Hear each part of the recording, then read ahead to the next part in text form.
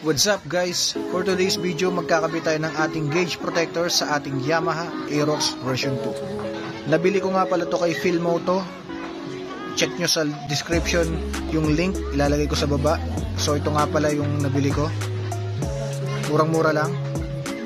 And watch this clip guys kung paano natin ikabit yung ating gauge protector sa ating Yamaha Aerox version 2. Yeah.